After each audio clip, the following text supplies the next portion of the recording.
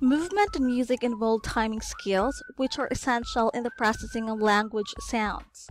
Encouraging children to be into music will help them develop a sense of rhythm. Singing activities, marching, dancing, and skipping to a beat will teach them dividing language into units of sounds too.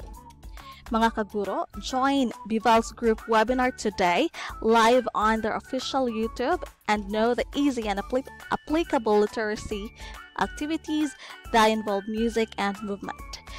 This will happen today, July 14, and will start at exactly 2 p.m. and 3:30 p.m.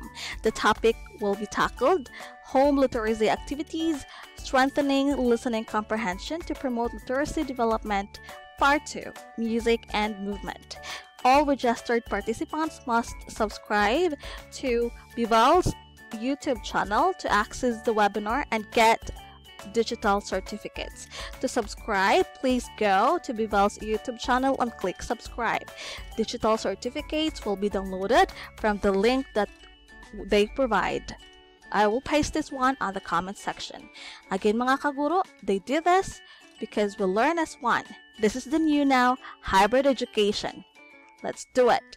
Okay, mga kaguro, since we have a lot of time since uh, before this webinar start, then let I will walk you through on the registration form. Just click this form, okay, and you will be headed to this. This is the form for today preschool webinar series. Here, confirm the topic to be attended. Click that one. Input your email address here and then complete name, the name that you want to appear on the certificate and please type in all caps mga kaguro.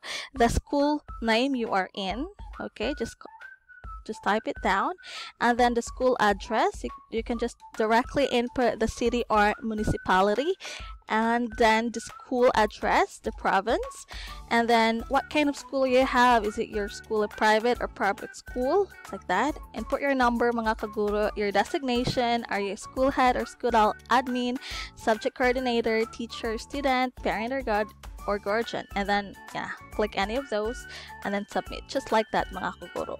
So i think this video this is the end of this video. I hope you learned something. Again mga kaguro this is teacher virgil. Don't forget to subscribe to my channel for the webinar updates. And mga kaguro thank you.